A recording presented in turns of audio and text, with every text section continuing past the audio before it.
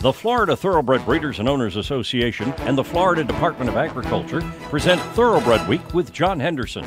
Also presented by Adena Springs South, Double Diamond Farm, Gulfstream Park, Jerry Parks Insurance Group, Ocala Breeders Sales Company, and Tampa Bay Downs.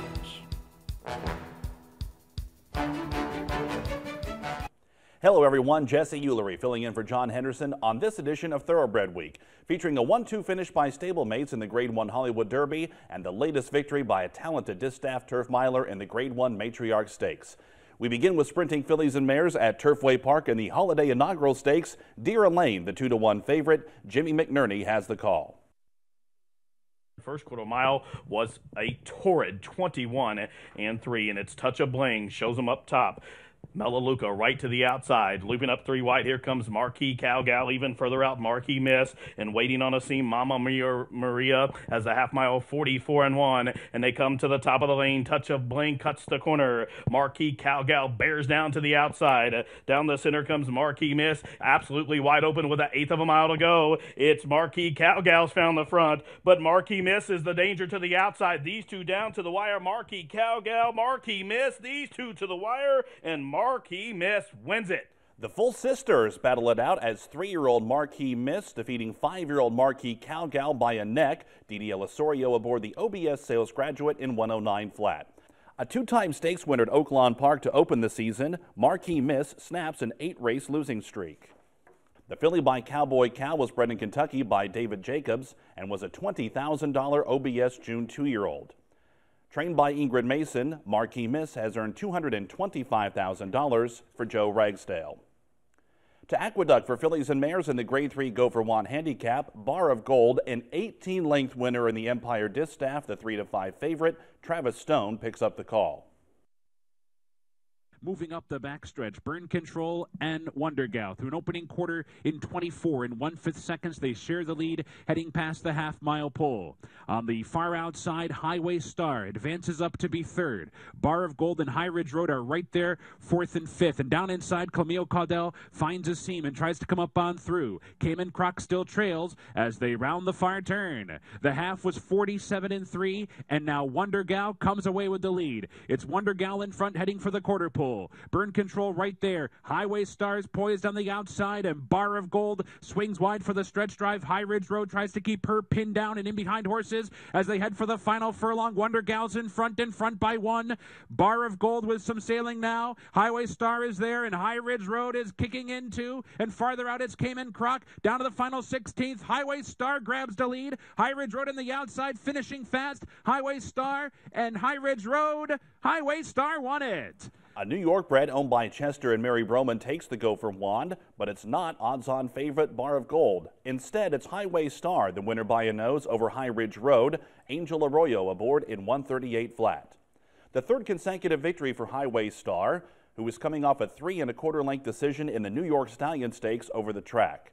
The three-year-old filly by Girolamo was bred in New York by Chester and Mary Broman. Highway Star has won five of seven starts for a bankroll of $369,000. Rodrigo Ubillo trains the winner. For all your insurance needs, a specialist at Jerry Parks Insurance Group is there to assist you with 40 years of exceptional coverage. Look for Jerry Parks, John Cassie, or Kelly Weeks at the 2017 sales. To Del Mar for the Grade 2 Bayakoa Handicap, Argentine import Vale Dori, the 1 to 2 favorite. Trevor Denman has the call. No change in the order. They have a half mile left to go, and Glory Zapper is still the leader. Vale Dori just biding her time in second. Two lengths back to Desert Madam in third, and then comes Wild at Heart. Moyo Honey is still six off the leaders, then three back to Show Stealer, Autumn Flower, and Barbara Beatrice. They are coming to the quarter pole, and Vale Dori now makes her move. And Vale Dori strikes the front with a quarter of a mile to go. Moyo Honey is moving in dangerously down at the rail if she can find room. Homeward bound and Vale Dori. Moyo Honey has room at the rail. Down the centre, Wild at Heart is coming home gamely. Vale Dori, though, still has a commanding lead, digs deep and finds more. And Vale Dori in another classy performance this afternoon. Vale Dori and Mike Smith far too good in the Bayakoa. They win it easy. Finishing like the race's namesake, another Argentine-bred sensation, Vale Dori, scores by three lengths over Wild at Heart. Mike Smith aboard in 144 and 3. A Group 1 Stakes winner in her homeland at 3, Vale Dori has won three of five starts in Southern California for trainer Bob Baffert. Third behind Stellar Wind and Beholder in the Grade 1 Zenyatta Stakes, the four-year-old filly by Asiatic Boy was coming off a 10 and a quarter length allowance victory at Santa Anita. Vale Dori has earned nearly $455,000. Sheikh Mohammed bin Khalifa Al Maktoum purchased the winner privately prior to the Dubai Racing Carnival. Vale Dori paid $3 to win and is the Malone's favorite of the week, presented by Malone's, Lexington's favorite steakhouse. Watch Thoroughbred Week replays online at tbredweek.com. Multiple Grade 1 winner First Samurai by Giants Causeway got off to a quick start at stud, siring Grade 1 winners in each of his first three crops. His talented son Lea captured the Grade 1 Donn Handicap in record time and retired to stud with over $2.3 million in earnings. Sovereign Award winner Stacked Deck captured the Grade 3 Bold Venture Stakes and Grade 2 Kennedy Road Stakes, both just a tick off track record times. First Samurai at Claiborne Farm. Castleton Farm has a long and distinguished history as one of America's great horse farms, having reared multiple champions over the years. Situated on 1,100 acres, some of the finest bluegrass Kentucky has to offer, with 15 barns, including an isolation farm, providing full service boarding. Castleton has a depth of professional experience coupled with passion for the thoroughbred horse and is dedicated to providing the most professional boarding experience possible in the thoroughbred industry. Kentucky's premier thoroughbred boarding, Castleton. And now, a Florida thoroughbred history moment. In 1956, a small, feisty horse from Florida named Needles and his owners Jack Dudley and Bonnie Heath shocked the racing world, winning the Kentucky Derby. Needles proved that champions with modest pedigrees could be grown in the Sunshine State, thanks to the limestone-rich soil and spring water. His wild acclaim created the horse capital of the world that we know today. This has been a Florida Thoroughbred History Moment. New to Coolmore America for 2017, Air Force Blue.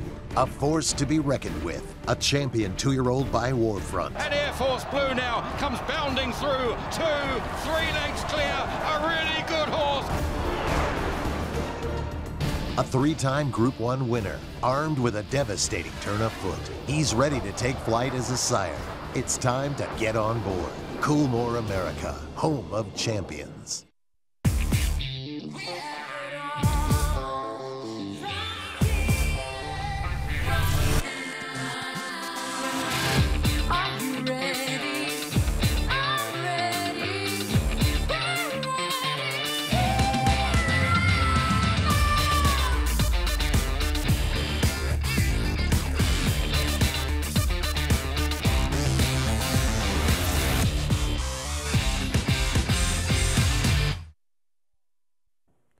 Welcome back to Thoroughbred Week with four races for two-year-olds in this segment.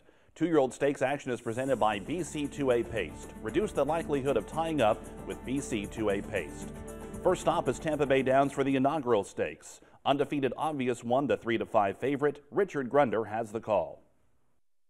There's the Gray Colt on the outside. Chance of luck.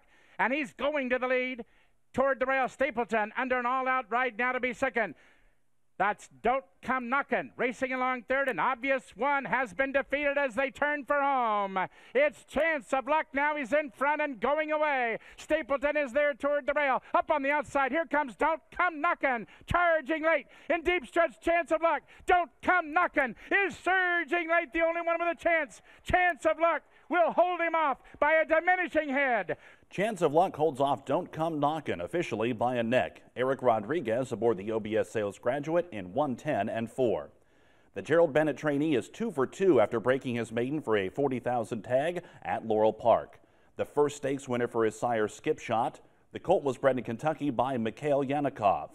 A $6,500 OBS two-year-old, Chance of Luck has earned nearly $49,000 for J.J. Brevin Stable to Golden Gate Fields for the Gold Rush Stakes. Colonel Samsen, the 9 to 5 favorite, Michael Wrona has the call. Round the far turn in the Gold Rush. Nothing separating Tipo Duro and more power to him. Chased by Aqua Frio, Colonel Samsen the fence. Riser still a bit wide from Manila Mischief, who's yet to see daylight and vibe on the inside with six lengths to pick up. On the swing for home, Tipo Duro and more power to him. A length and a half Aqua Frio, Colonel Samsen. Vibe has room at the fence. Manila Mischief getting to the extreme outside, about three lengths out of it as Aqua Frio joins more power to him with a 16th to go. Then Colonel Samsen, Manila Mischief, Aqua Frio in front. Colonel Samsen driving at him on the inside. Colonel Samsen got up to win from Aqua Frio. Race favorite Colonel Samsen holds off Aqua Frio by a half a length. Juan Hernandez aboard the Keeneland Sales Graduate in 138 and 2. Winless in his first four starts, the Owen Hardy trainee advancing to Stakes Company after breaking his maiden in his fifth attempt at Del Mar. The gelding by Colonel John was bred in Kentucky by his owners Kastner Racing and Corey Johnson's CJ Thoroughbreds. Colonel Samsen has earned $108,000. To Woodbine for the display stakes, trainer Mark Casse sent out three of the 10 starters, including 8 to 5 favorite King and his court. Robert Geller has the call. It's flow motion still in front of Patchy Cruz, splitting them now. Guy Caballero on the outside, Vanish just a couple off, and Hemen and Har on the rail. A length away, My Way Tapper, three wide recoil. The inside stop, who's that? King and his court behind, and is starting to wriggle up now. Last of all is Juro Jin. They went a half 49 and 3, and the leader flow motion by a length. Guy Caballero, Patchy Cruz, Vanish about to join them on the outside. Then Hemen and Haran and off the track, recoil, the centre, My Way Tapper. King and his quarters worked home. Next to last stop, who's that? And last, Juro Jin. They go to the quarter. Flow motion, Guy Caballero, joined by Vanish. Then Patchy Cruz. Off the track, recoil. Up the inside, Hemen and Haran and My Way Tapper. Juro Jin around King and his court. And last stop, who's that? Guy Caballero. And flow motion, tackled by Vanish. Vanish trying to level now. Down in the centre, My Way Tapper. Narrowly on the inside, flow motion. Vanish, Guy Caballero and King and his court flying at the trio. Got them all as if he just began the race. King and his court rules again. Runners trained by Mark Casse finished 1-2, with race favorite King and his court defeating 11-1 Flow Motion by a length and three quarters. Gary Boulanger, the winning rider, in 145 flat. King and his court is two for two for Casse after being purchased privately by Wachtell Stable and Gary Barber. In his first start for his current connections, he defeated Canadian breds in the Coronation Futurity. The gelding by Court Vision originally sold for $3,000 at the Canadian yearling sale. King and his court has earned nearly $243,000. Darby Dan Farm Stallion dialed in, the number one first crop sire with progeny earnings over $1.4 million. Dialed in is represented by an impressive 18 two-year-old winners in 2016. Contact Ryan Norton at Darby Dan to book your mare for 2017. To Tampa Bay Downs for two-year-old fillies in the Sandpiper Stakes, R Angel Katelyn, the 8 to 5 favorite. Once again, here's Richard Grunder. They approach the quarter mile pole. R Angel Katelyn trying to take him start to finish. Wild Cheers is toward the rail. Jumbie Bay is set down for the drive on the outside. Second and Lulu Laura swings to the center of the racetrack. Third is they're into the stretch. R Angel Katelyn has the race to win or lose. Here's Jumbie Bay ducking to the inside and appears to be the only one with a chance from far back. Star Gala now coming on, but down to the wire. It's R Angel Katelyn. She'll make every pole a winning one, and Gerald Bennett sweeps the stakes reporting home four lengths to the good. Race favorite R Angel Katelyn, the front running winner officially by three and a half lengths over two to one second choice Jumbie Bay. Edwin Gonzalez aboard the Florida bred in 110 and 3.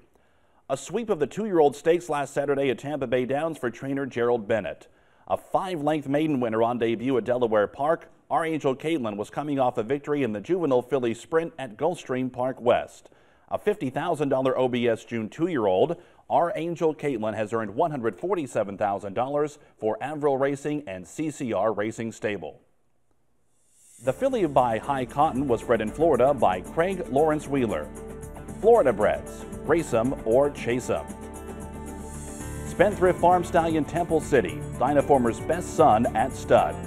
Temple City is the sire of four graded stakes winners in 2016, including Grade 1 Hollywood Derby winner Annals of Time and three-time Grade 1 winner Miss Temple City.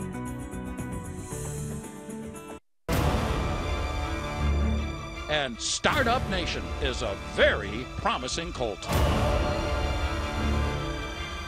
Bolo absolutely annihilated them. Miss Temple City sharp in the hilltop. Papa Cool, Papa Cool exploding through under a hand ride here. Very impressive. Point of entry would not be denied. And they're into the stretch. Point of entry's taking the lead. Point of entry, a two-length lead. It's point of entry taking the lead. Point of entry will go to the Breeders' Cup on a five-race winning streak. Five-time Grade 1 winner from a deep Phipps family with the pedigree and physical to become the heir of Dynaformer. Point of entry. Standing at Adena Springs. Now, a Florida thoroughbred history moment. Founded in 1956, Ocala Stud is the oldest active thoroughbred farm in Florida and a pioneer in the thoroughbred industry. The landmark Ocala Stud's message is simply put if you want a runner, look to Ocala Stud. Ocala Stud revolutionized the worldwide industry, creating two year old in training sales. Now represented by the third generation of the O'Farrell family, the farm's reputation as a top producer of thoroughbreds makes them a symbol of excellence. This has been a Florida thoroughbred history moment a Florida bred. He is not just a racehorse, he is our heart. He is our toil and sweat. He soaks up the bright sunshine, becoming mighty and strong. He feasts on our abundant grass and drinks our mineral rich water. He is a way of life, our champion. His excellence brings us chills as he competes, inspiring us to greatness. He is our purpose, our soul. He is a Florida bred. Welcome back to Thoroughbred Week with a 1-2 finish by stablemates in the Grade 1 Hollywood Derby coming up in this segment. But first to Woodbine for the Grade 3 Valedictory Stakes at a mile and three quarters. Last year's winner, Melmich, the 2 to 5 favorite, Robert Geller picks up the call. Decision day in front, and Gary Boulanger about length clear. Melmich in second, one away Ethical Funds. Murasawi is edging up well. On the inside is Bangkok, and they are catching ground now, both from the back English Illusion and Aldous Snow as they race inside the final four and a half. In the valedictory, it's Decision Day and Melmich the top two. Ethical Funds third. Murasawi extended the top two sprint. On the inside, Bangkok. Well behind still English Illusion and Aldous Snow. They caught some ground, but the leaders have sprinted on. Decision Day in front, and there's a solid one. A leader by a half, holding Melmich at the moment. They're three to ethical funds. Murasawi's all out. Bangkok on the inside, then English Illusion. Aldous Snow is last. They turn in the valedictory, and it's been decision day in Melmich. And Melmich, given full bores, hit the front. Melmich, the defending champion, got away. On the inside, decision day. Bangkok trying to wriggle home, and on the outside, ethical funds. It's Melmich in front. Chased home here by Bangkok. Ethical funds, English Illusion from the clouds. The leader's tired. Melmich Bangkok coming. Bangkok and on the inside, Melmich. Bangkok on the outside's got to the lead. Bangkok has won the valedictory. 17 to 1 Bangkok rallies to defeat odds-on favorite Melmich by a half a length, giving jockey Emma-Jayne Wilson her fourth victory in the valedictory. Time of the race 259 and 4. Bangkok records his first victory since winning a $40,000 claimer in his seasonal debut in June. The five-year-old gelding by Street Hero was bred in Ontario by his owners Gail Wood and Dr. Ruth Barber. Bangkok has earned $288,000. Philip Gracie trains the winner. Access Thoroughbred Week replays every Saturday on Thoroughbred Daily News at thetdn.com. To Del Mar for three-year-olds in the Grade 1 Hollywood Derby. Chad Brown sent out three of the 12 starters, including 7-2 favorite Camelot Kitten. Trevor Denman with the call. And away they go. All appear to come out smoothly. Frank Conversation is fast into stride, joined now by Blackjack Cat. Going up between those two now, we have Free Rose going up second. Defiantly's on the outside. Right in behind the leaders, Beach Patrol come off the rail alongside Path of David in the blue colours. Camelot Kitten races in mid-pack, five off the leaders, then Annals of Time. On the outside is revved up. Down at the rail comes Isotherm. Hayabusa one has taken back second last, a good nine lengths off the leaders, and Diplodocus is last. They head to the three-quarter pole now, and Blackjack Cat sets a sensible pace, not in a big hurry. Defiantly's on the far side. They've been followed by Free Rose down at the rail and Beach Patrol in the perfect spot on the far side. In behind that, Frank Conversation. They are then being followed by Isotherm, who's five lengths off the leaders. Behind that comes Camelot Kitten, revved up as the red cap on the far side. They are followed by Annals of Time. Hayabusa one is still eight lengths off the leaders, been asked to pick it up now, and Diplodocus trails. Into the turn they go defiantly on the far side. Now comes to take on Blackjack Cat and Beach Patrol now looms the danger. Beach Patrol is coming to challenge on the grandstand side. Free Roses down at the rail needs room. Then comes Frank Conversation. In behind that is Camelot Kitten. They come to the top of the lane and Beach Patrol now strikes the front. Frank Conversation down the centre. And here comes Camelot Kitten with a late run down at the rail. Blackjack Cat battles on as well. Annals of Time. Annals of Time out of nowhere. Annals of Time just blew past them. And Annals of Time a striking win. Annals of Time by Spendthrift Farm Stallion Temple City rallies to defeat Beach Patrol by a length and a half as Chad Brown trainees run 1-2. Javier Castellano, riding for the first time at Del Mar, aboard the winner in 147 and 3. Only the fourth start for Annals of Time, who finished third behind his stablemates Camelot Kitten and Beach Patrol in the Grade 3 Hill Prince Stakes. The colt was bred in Kentucky by Montecule and was an $80,000 yearling. Annals of Time has earned $289,000 for Klaravich Stables and William H. Lawrence. Javier Castellano with the Safe Ride of the Week, presented by Sallee Horse Vans, the safest way to the winner's circle. Coming up, a photo finish in the matriarch.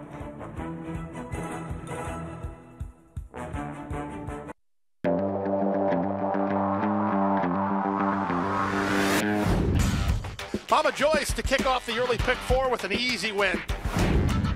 It's First Heritage in front. First Heritage begins to edge away. Stick Stately Dude gets there and pulls away in the end. But here's Floradora on the outside, and it's the New York Invader, Floradora, to win it.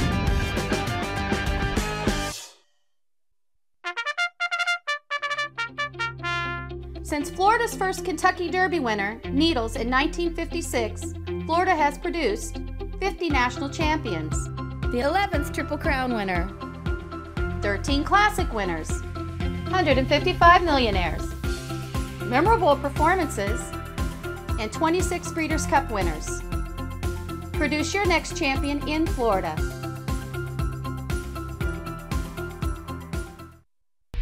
Now, a Florida thoroughbred history moment. Founded in 1956, Ocala Stud is the oldest active thoroughbred farm in Florida and a pioneer in the thoroughbred industry. The landmark Ocala Stud's message is simply put if you want a runner, look to Ocala Stud.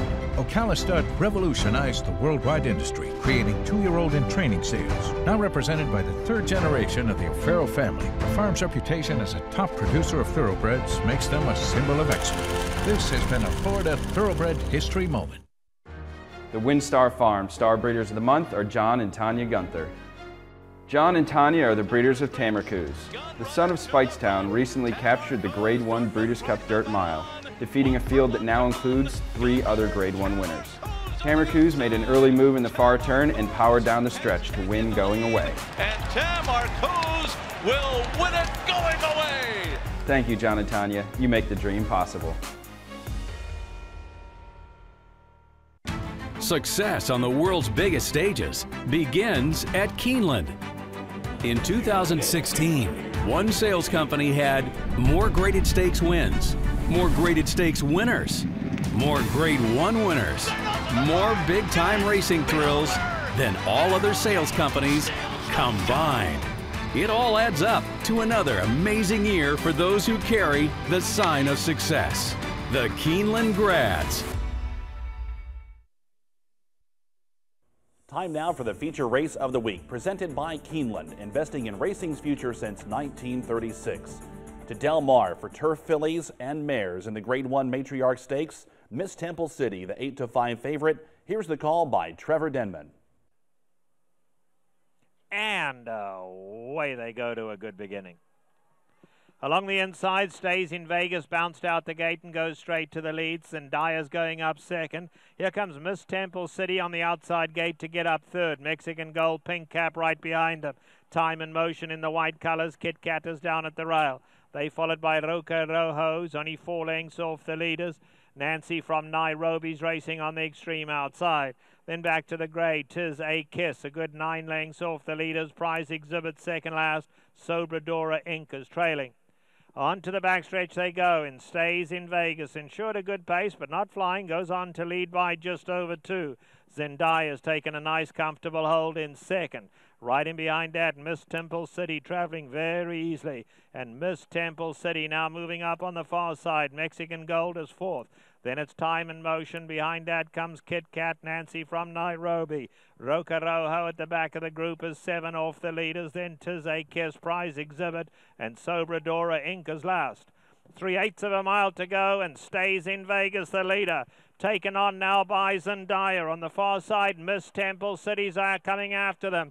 Mexican Gold goes well, needs somewhere to run down at the rail. Roca Rojo's right in behind that, and then Time and Motion. Homeward bound and stays in Vegas, still the leader. Being tackled now by Zendaya. Down the centre of the track, Miss Temple City. Roca Rojo on the outside. Miss Temple City flying. Miss Temple City on the outside. Roca Rojo, Miss Temple City.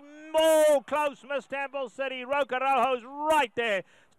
Here's another look at that photo finish. It's race favorite Miss Temple City taking over the lead between horses under Edgar Prado. But 5 to 1, Roca Rojo and Florent Geroux are closing rapidly on the outside. But Miss Temple City holds on to take the photo by a nose. A weekend Grade 1 Stakes double at Del Mar for Spendthrift Farm Stallion Temple City. The Keeneland sales graduate runs a mile in 135 flat. The third Grade 1 victory of the season for Miss Temple City, who defeated males in both the Makers 46 mile and the Shadwell Turf Mile at Keeneland. The Graham Motion trainee was coming off a fifth place finish in the Breeders' Cup Mile. The four-year-old filly was bred in Kentucky by Bobfeld Bloodstock. Miss Temple City has earned $1,453,000 for the club racing, Needle in a Haystack LLC, and Sagamore Farm. The future Turf Star was consigned by Three Chimney Sales to the 2013 Keeneland January sale, where she brought a final bid of $10,000. 54 different Keeneland Sales graduates have won 69 Grade 1 or Group 1 stakes this year, more than all other sales companies combined. Miss Temple City, the Keeneland Sales Graduate of the Week. We'll have two-year-olds in the Grade 1 Losal Cash Call Futurity and the $300,000 Remington Springboard Mile. Two-year-old fillies in the Grade 1 Starlet Stakes, along with two-year-old stakes action from Gulfstream Park next week here on Thoroughbred Week.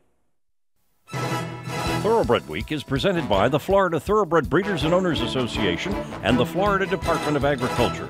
Also presented by Adena Springs South, Double Diamond Farm, Gulfstream Park, Jerry Parks Insurance Group, Ocala Breeders Sales Company, and Tampa Bay Downs. Online at tbredweek.com.